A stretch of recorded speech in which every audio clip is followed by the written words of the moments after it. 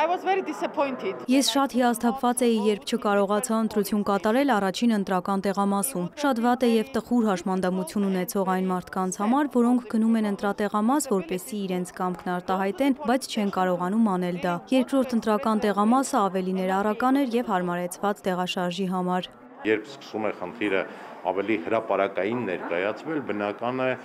սա կարող է միանշանակ խթանել, որպեսի ուրեմն ավելի մեծ ուշադրություն դարձվեն այդ տեղամասերին, որպեսի ինտերակտիվ քարտեզի վրա նշված օրինակ դեղին գույնը շատ արագ վերածվի կանաչ գույնի։ Եվ ես համոզված եմ, որ այս գործիքը, որը ապահովելու է լիակատար տեղեկատվություն, կնպաստի նաև տեղամասային կենտրոնների վիճակի բարելավմանը մատչելիության տեսանկյունից։